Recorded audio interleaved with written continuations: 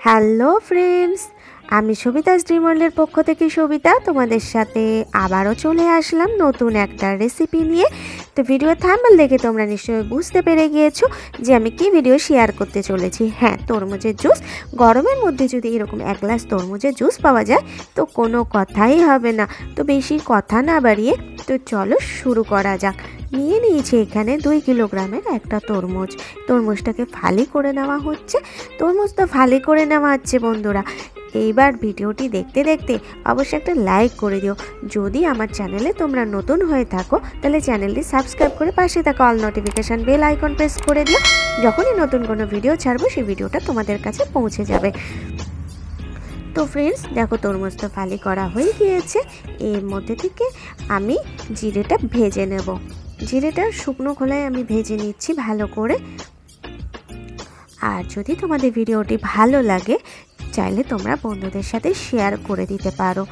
তো চলো, জিরেটা এইভাবে ভালো করে ভেজে নেওয়া যাক। তো জিরে ভাজা হয়ে গিয়েছে। এইবার এটাকে আমি পাউডার করে নিলাম।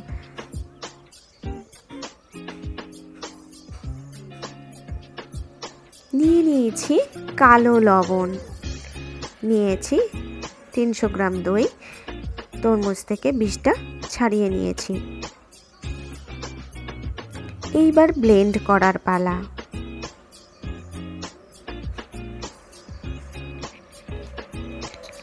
দিয়ে দিচ্ছি ডাবের জল। তোমরা তরমুজের ওজন বুঝে ডাবের জল কমিয়ে বা বাড়িয়ে নিতে পারো।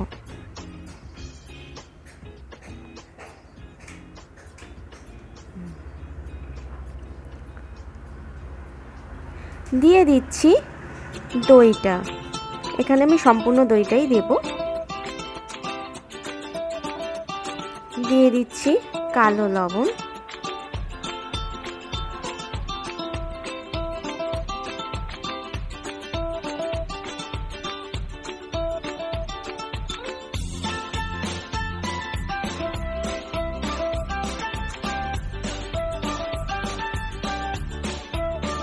দিয়ে দিচ্ছি চিনি।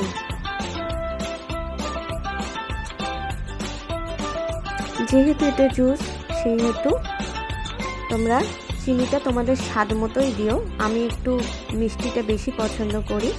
এই পরিমাণে আমি চিনিটা অ্যাড করে দিলাম। তো দেখছ জুসটা রেডি হয়ে গিয়েছে। এবার ভাজা জিরে গুঁড়োটা এর মধ্যে আমি অ্যাড করে দিলাম। ভালো করে ফেটিয়ে নিচ্ছি। দেখতেই পাচ্ছি এরকম চেহারায় এসেছে।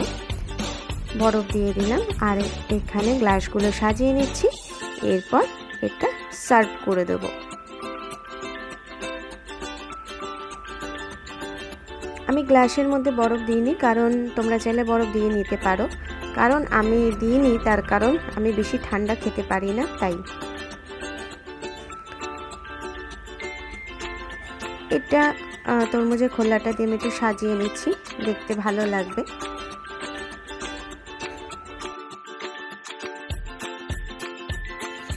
এটা খাবার জন্য সম্পূর্ণভাবে রেডি আর যা গরম পড়েছে, তো খুবই ভালো লাগবে। বাচ্চাদের কাছে শুনে নেওয়া যাক ওরা কি বলছে।